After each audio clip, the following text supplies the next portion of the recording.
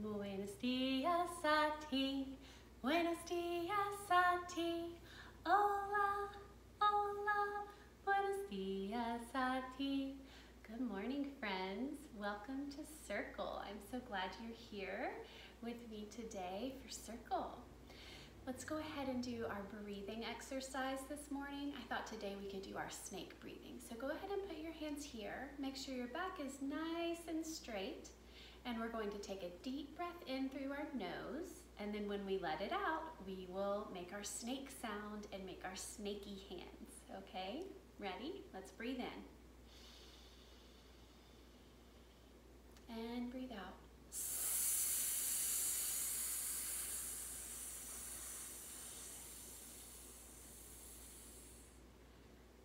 Do it again. Breathe in. And breathe out.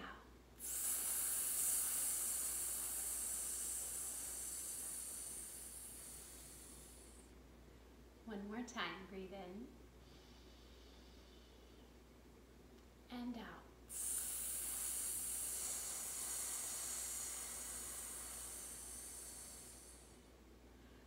All right. Snake breathing makes me feel calm and ready for circle time. Let's talk about our calendar a little bit today.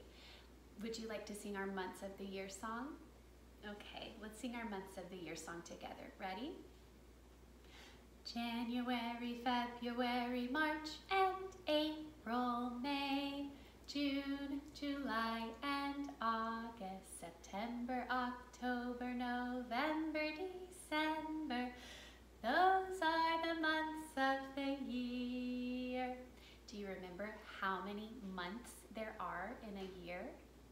There are 12 months in a year. Mm -hmm. 12 months. Let's sing our Days of the Week song. Ready? Days of the week. Days of the week. Days of the week. Days of the week. Days of the week. There's Sunday and there's Monday. There's Tuesday and there's Wednesday. There's Thursday and there's Friday. And then there's Saturday. Days of the week. Days of the week. Days of the week. Days of the week. Days of the week. Were you able to count how many days there are in a week? Let's count them together. Sunday, Monday, Tuesday, Wednesday, Thursday, Friday, Saturday. That is seven days. There are seven days in a week. While we're talking about our calendar, let's talk about our seasons for a moment. Do you remember what season we are in right now? We're in the season of spring right now. What season comes after spring? Do you know?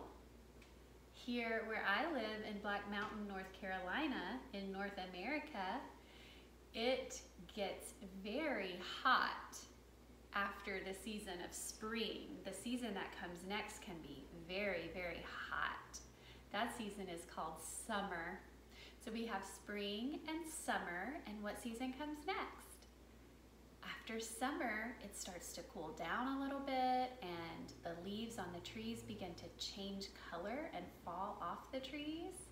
That's the season of fall or autumn.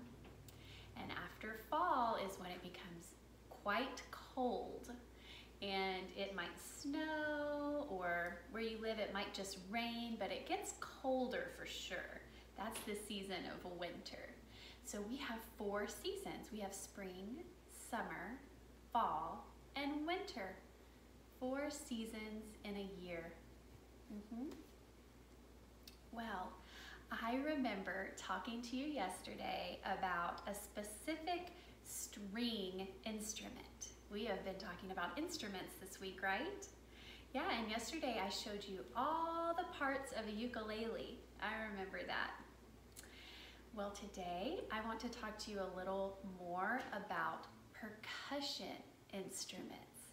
Remember, percussion instruments are instruments that are played by being shaken or by being struck.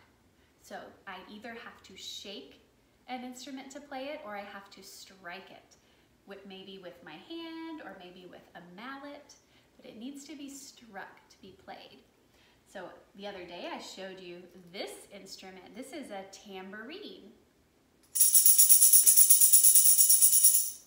Tambourine makes that lovely jingling sound because the tiny cymbals on it clang together and make a jingle. Listen again. How did I make the tambourine make sound? I had to shake it, right? Yeah, a tambourine is a percussion instrument that needs to be shaken to make sound. I just love that sound of the tambourine. Here's another instrument that needs to be shaken to make sound. This is a maraca. Say maraca, that's a fun word, word to say. Maraca. I need to shake the maraca to make sound. Maraca is a percussion instrument as well. Did you notice this instrument? What is this instrument? It's a drum. It's a special kind of drum called a djembe. Watch how I can make the djembe make sound.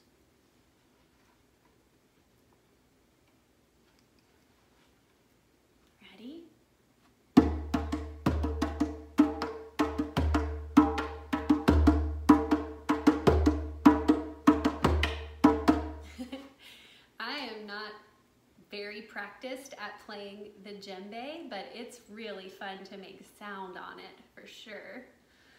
How did I play the djembe? What did I do to make it make sound? Did I shake it? Let's see if it makes sound when I shake it.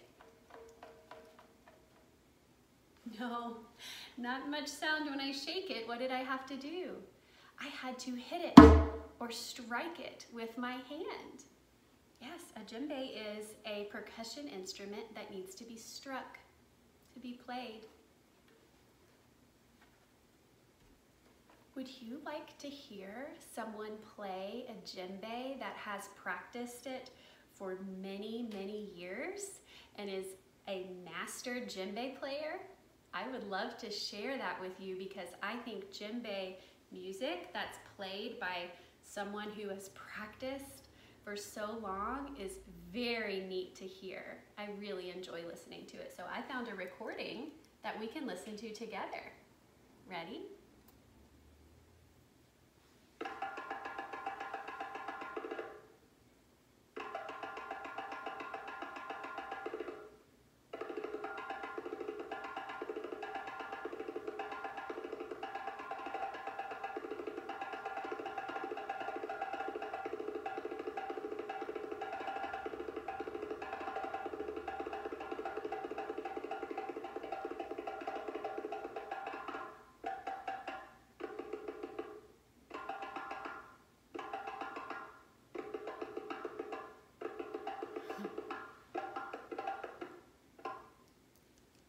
Wasn't that interesting to listen to? Only one person was playing one instrument to make all of those sounds. Yeah, the djembe is a very neat instrument. I really enjoy listening to that. I have another kind of percussion instrument I want to show you. You have seen my bells before, haven't you? Yeah, if you've watched other circle time videos, you have seen my bells. The bells are a percussion instrument. Would you like to see how I can make sound on the bells? Okay.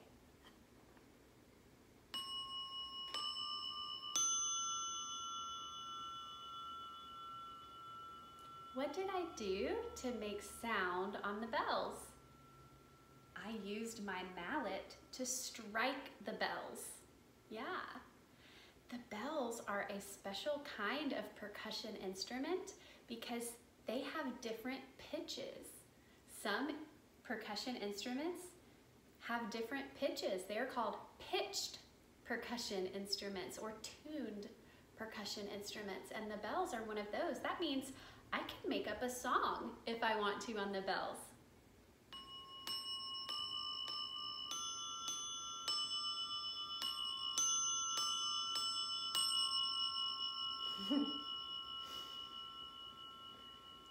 that is what makes pitched percussion instruments special. We can play songs with them.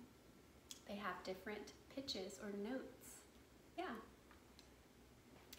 I thought it might be fun today to show you how to make your own percussion instrument at home. You might not have any percussion instruments at home, I don't know. I had a few laying around, but some people don't collect instruments like I do. So I thought I could show you how to make an instrument out of things you already have in your home. Would you like to see that? Okay, I will put my bells down here.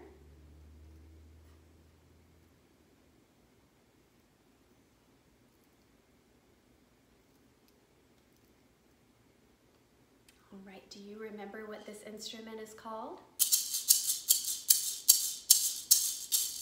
It's called a maraca. A maraca. I'm going to show you how to make your own maraca at home. All you need is a little pitcher or something to pour with dried rice. That is rice that has not been cooked yet. If you don't have dried rice, you could use a, some sort of dried bean, like black beans or pinto beans, any kind of dried bean, or you could even use uncooked lentils, dried lentils, any kind of grain or bean that hasn't been cooked yet will make a nice sound for your maraca. And the only other thing you need is a jar with a lid on it. All right, I'm going to make my own maraca.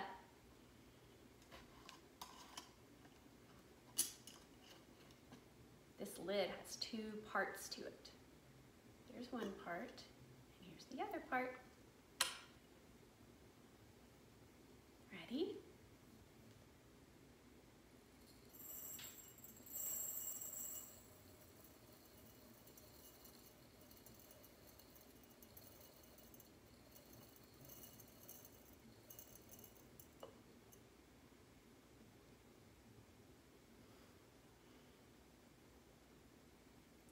Now I will put my lid back onto my jar.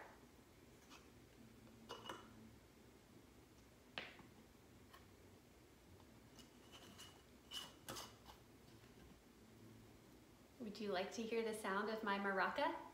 Okay, ready?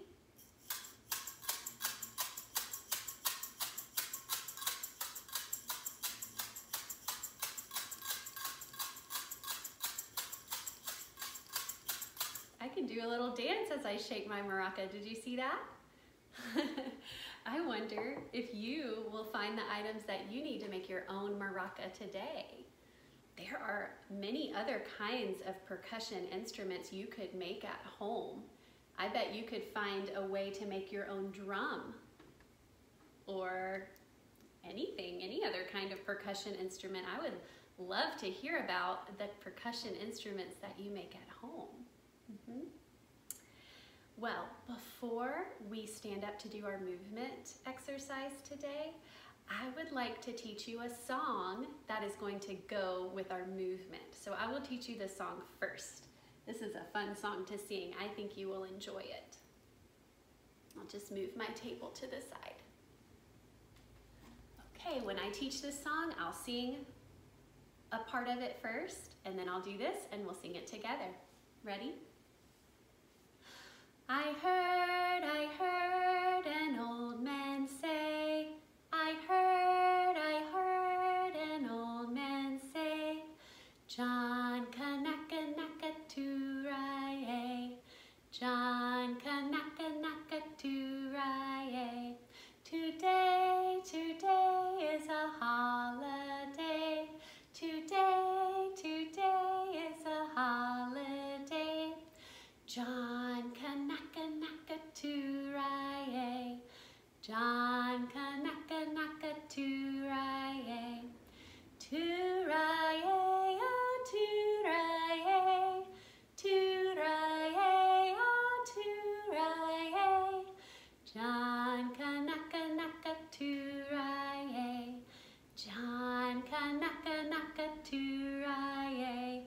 sing it all together. Ready? I heard, I heard an old man say, John Kanaka Naka Turaye. Today, today is a holiday. John Kanaka Turaye. Turaye, oh Turaye. John Kanaka Turaye.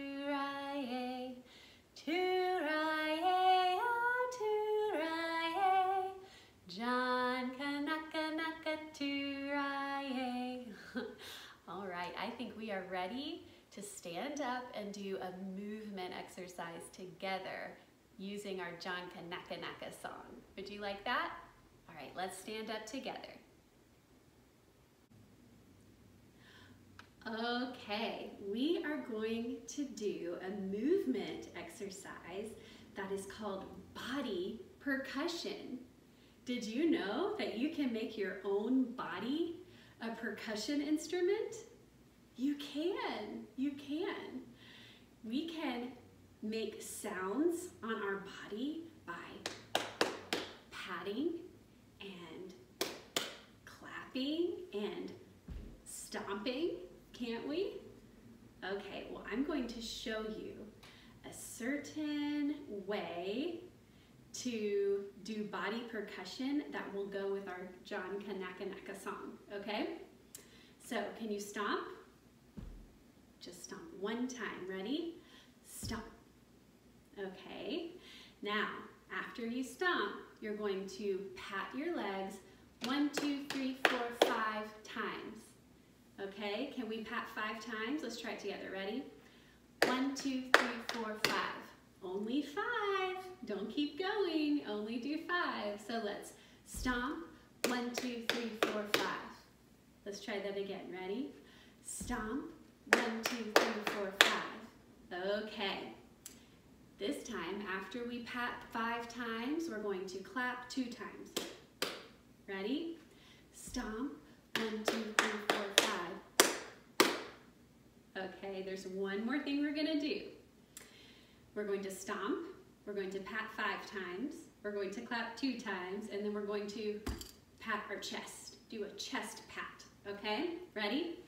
Stomp, one, two, three, four, five. Clap, clap, pat. That makes a different sound when I pat my chest than it does when I pat my thighs. That's what I just learned. All right, let's try it again. Ready? Stomp. One, two, three, four, five.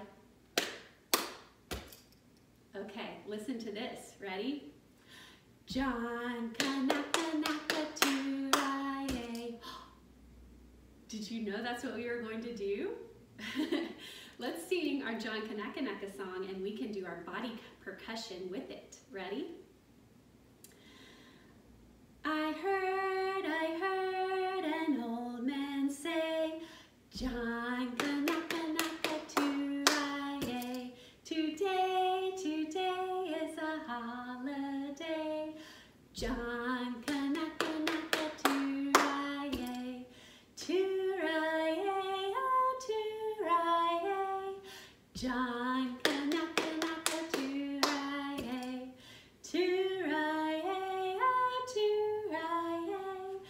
John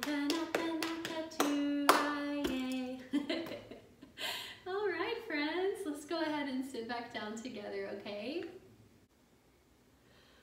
Oh my goodness, that was so much fun. I really enjoyed doing that movement exercise with you. Friends, it's time to say goodbye now. I will see you again tomorrow and I hope that you enjoy discovering what kind of percussion instruments you can make at home today. Adios amigos, adios, adios. Adios amigos, adios, adios. Goodbye my friends, goodbye, goodbye. Goodbye my friends, goodbye, goodbye.